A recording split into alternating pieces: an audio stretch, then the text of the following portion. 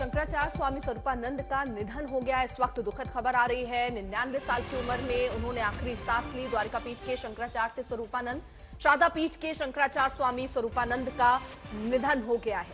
निन्यानवे साल की उनकी उम्र। और जो खबर आ रही है वो ये कि अब वो हमारे बीच नहीं रहे। शारदा पीठ के शंकराचार्य स्वामी स्वरूपानंद का निधन हो गया है।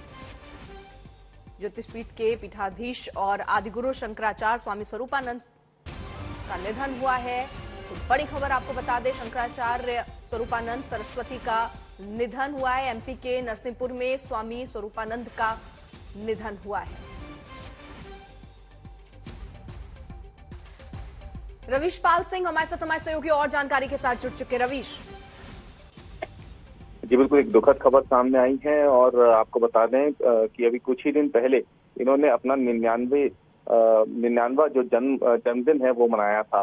और हाल ही में तीस अगस्त को जब ये जन्मोत्सव मना था तो उस दौरान बाकायदा शंकराचार्य जी के जन्मोत्सव के पूर्व मुख्यमंत्री कमलनाथ जो कि अनन्य भक्त माने जाते हैं उनके और साथ ही में कांग्रेस के तमाम बड़े नेता मध्य प्रदेश के मुख्यमंत्री, तमाम लोगों ने उनसे मिलकर के उनका आशीर्वाद लिया था। लेकिन ये नहीं पता था कि उसके कुछ ही दिन बाद ये दुखद खबर भी सामने आएगी आपको बता दें कि अपने बयानों को लेकर के खासे एक तरीके से देखा जाए तो सुर्खियों में बने रहते थे शंकराचार्य जी और खासतौर से अगर देखा जाए तो बेहद ही ज्ञानी शंकराचार्य थे और इसलिए बड़ी बड़ी हस्तियाँ जो थी वो इनके दरबार से इनका आशीर्वाद लेने के लिए मध्य प्रदेश के नरसिंहपुर अब तक जाती रहती थी। लेकिन आज अचानक से जब खबर आई है तो सब में जो पूरे मध्य प्रदेश में अगर देखा जाए तो इन सभी भक्तों में शोक की लहर है।